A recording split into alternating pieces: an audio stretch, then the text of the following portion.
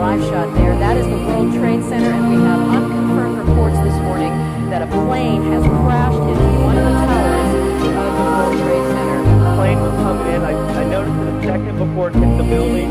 It looked like it was moving slowly. It lined itself up to hit the building directly.